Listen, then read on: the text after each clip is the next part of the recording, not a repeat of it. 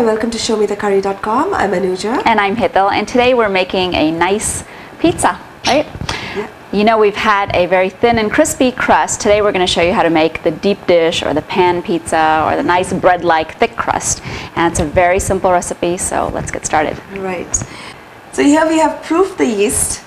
It's got one third plus one tablespoon of warm water, half a teaspoon of rapid rise yeast, and one teaspoon of sugar. And we've mixed it, kept it aside, covered it and kept it aside for about 10 minutes. Basically it's frothy and it's foamy. And it's uh, ready to go. So now to this we're going to add one tablespoon of milk powder or non-fat milk powder that we use for a lot of things. This is what it is, dry milk powder. And quarter teaspoon of salt and mix. So once that's ready, we have one cup of all-purpose flour or maida here, and we're just going to knead a dough with this.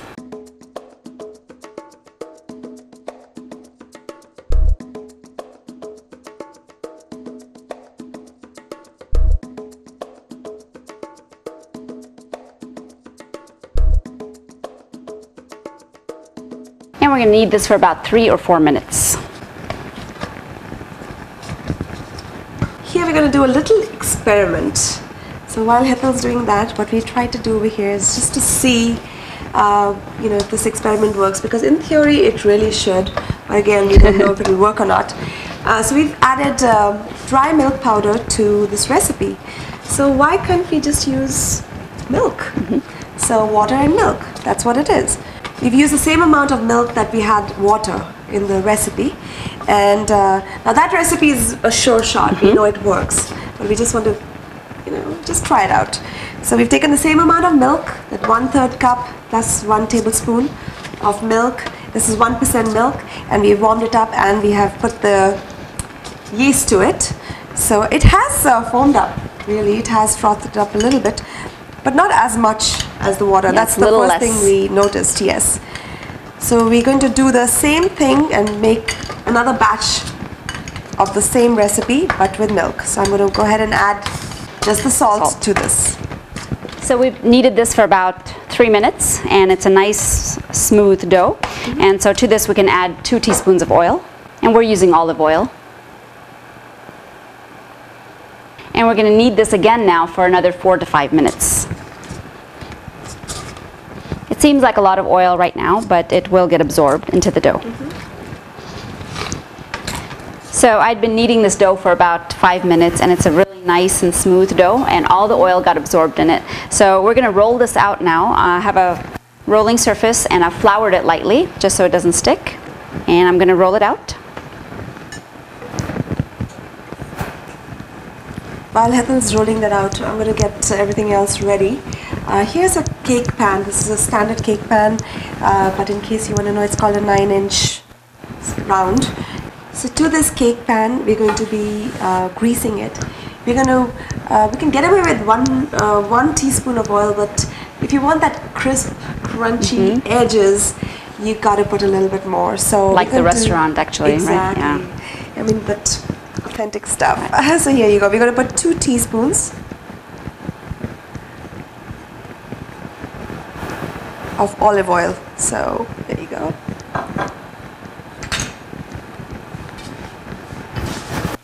And just grease it well. And I have rolled this out to just slightly bigger than our 9 inch pan because uh, all purpose flour tends to um, shrink back once you roll it out. So just a little bit bigger and then we're going to put it in the pan.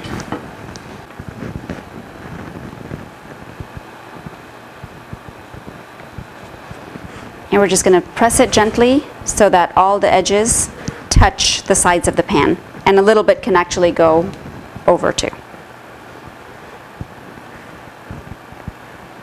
So now this is ready. So we've warmed our oven to about 150 degrees Fahrenheit and we're going to cover this with just a plate and we're going to let it sit in there for about an hour to an hour and a half and it's going to rise. Now the key to this is we used the rapid rise yeast and that lets us do this immediately. We rolled it out, you know, we made a dough, we rolled it out and it's going to rise in there. If you're not using the rapid rise yeast and you have regular yeast, then what you'd have to do is you'd have to knead your dough and make a little dough ball and then keep that dough ball in your warm oven and let it rise sides once, and once it rises for about an hour, you punch it down, and then you roll it out and put it in your pan. So by using the rapid rise yeast, we save one step and probably about an hour of our time, so which is valuable. so this is ready to go. We're going to put a plate on here again, cover it, and into the oven for an hour. So our pizza dough is out of the oven, and it sat there for about one hour. And here it is. Looks good. Mm-hmm. Yep. And you know that little experiment we were doing with the milk, and this is that one. And look at it. It actually looks better. It's looking better. Yeah, it does. It's like risen a little bit more and looks really good.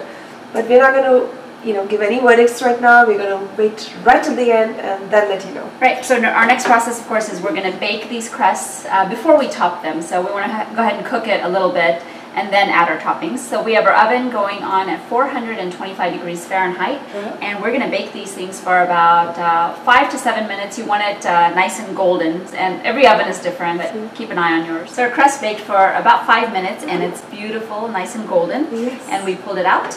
Right. So, So here we have some butter. What you're going to do is just take it around the edges.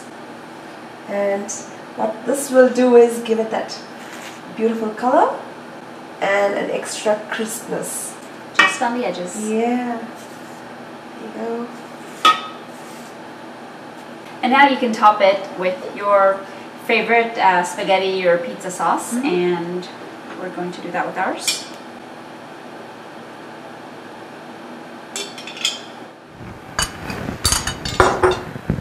And we have some fresh mozzarella.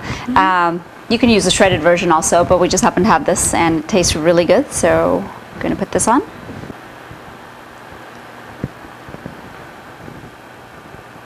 Beautiful. Again, we like we mentioned, you can put whatever you want. So we're going to put some olives. Some of your topping choices are um, onions, bell peppers, mushrooms, jalapeno peppers. The oven is still hot. And this is all done. It goes back into the oven for about 7 to 10 minutes. Again, keep an eye on it because these ovens, I don't know, they do a thing, you know. I know. so we'll be back. So our pizzas are out of the oven and they cook for 10 minutes. Look fantastic. Mm-hmm. Okay, so we have our pizza cutter. Mm-hmm. This is the one that was made with the milk powder And this is the experiment. experiment with the milk. Yes. It's crispy. Yeah. Look at this. Oh, Wow. it's beautiful. Beautiful. You can you know see the sponginess Uh-huh. of it. You know the you can tell there's air bubbles. Okay, You can hear it. let's try this one. Check it out. Wow. Wow. So I think at this point they look very look the much. Uh, yeah. So I think the taste is going to be the only thing left. Wow. And they're nice and crispy, so that's the best part. Okay, so I'm going to cut a small piece for here, for you and me.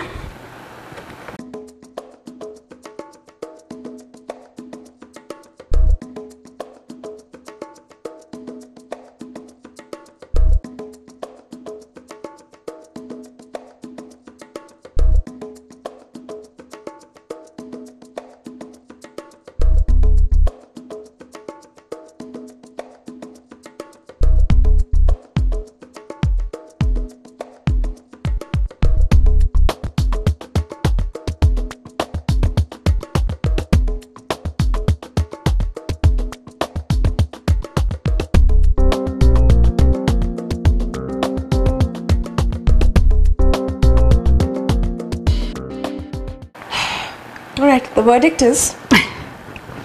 Here's my opinion. They both really. There's very little difference, or actually, there's none at all. Yeah. Really, that we cannot we cannot tell the difference. So, I would use the milk, and uh, skip that milk powder, you know, because everybody has milk at home. Right. So just skip that step and just, you know, Use milk. yeah. In fact, this is you know thicker. So if at all, this is more appealing looking than that one. Right. Right. And the thing we forgot to mention is when we did make the dough with the milk, mm-hmm. we had to use one more tablespoon of milk, right. Yes, than we did water.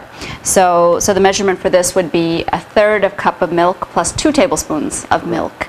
Versus only one tablespoon of water here. So Yeah, I think maybe we can put both the recipes so you guys can figure out which figure out wanna do. choose choose your own. uh, yes. I mean, sometimes you know you don't, you can't find one percent milk. So now we don't know if you take like whole milk and use it, it may have a different effect. So if you, we've used a one of milk because that's what we had, in the fridge.